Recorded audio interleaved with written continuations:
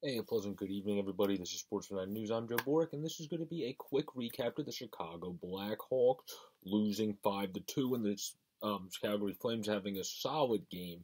I would put it to win five to two because they really had three goals on the goaltender Marc Andre Fleury, who played a very good game to keep his Blackhawks in the game as the shots were 39 to 21. But the Flames, with those 21 shots, did give up some opportune chances, and also specifically on a wrist shot Hagel was able to get. We also had another opportunity in the game, obviously, on the great pass from Toews in front of the net, among others. Toews has been able to create other opportunities in the game and the Hawks were able to get some A plus chances, or at least some B plus chances, if for, with some of their other chances in those 21 shots. So the Flames only played, I would say, a solid game in this game. This wasn't one of the A plus games of the Flames, and the Blackhawks stayed competitive, just like we talked about on Pirlo Wisdom's show. That I'm going to link his channel at the end of this video if you want to start following him, and you should. He does great hockey content there with Peyton on the radio as well, who you should follow.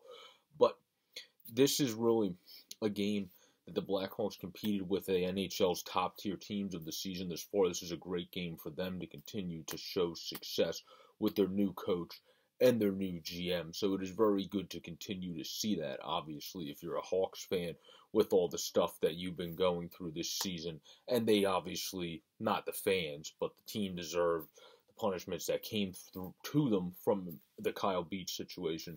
But the fans have obviously had to go through all that as well and now you are coming out pretty better, playing more competitive in your last 10 and now 11 games as we throw this one in. And you play competitive because this was really a 3 2 game with them two empty netters to seal it by Tkachuk and Trevor Lewis. And, uh, and no, it's Tkachuk and not Tkachuk, by uh, Trevor Lewis and Johnny Gaudreau. And then Tkachuk was able to score on a very nice wrist shot. So, in this game, the other thing that you have to shout out is an undrafted player in Reese Johnson, who was very solid when he was down in his career with the Ice Hogs. Is a very good, scrappy guy that really competes at a high level. Never going to wow you at anything really, but competes at a high level and will piss off and be pesky and get penalty minutes fighting and standing up to people and pissing off the other team. So he's a good little player. Congratulations for him to be able to get his first goal and then, of course, Milan Lucic had a very good wrist shot, and Dillon Dubé had a spectacular snapshot that was able to cap off the Flames' actual goals on the netminder.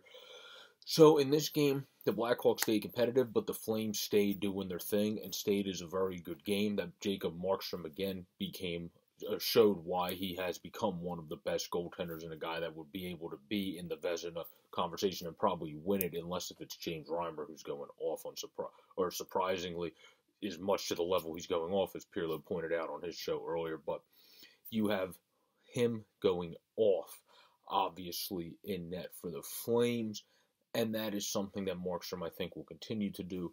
And then Fleury had a hell of a game as well, but Flames come out on top because they were able to prevail enough on offense and play well enough to play a, or to beat a Blackhawks team at home that has been a hell of a lot more competitive since making the coach and general manager change. So everybody have a great, safe, and pleasant day. This has been a reaction to the Blackhawks and Calgary Flames game. This is Sportsnet News. I'm Jeff Borg. Subscribe down below on the subscribe button if you enjoy the content and have not already. I appreciate you or up above on the easy to use widget.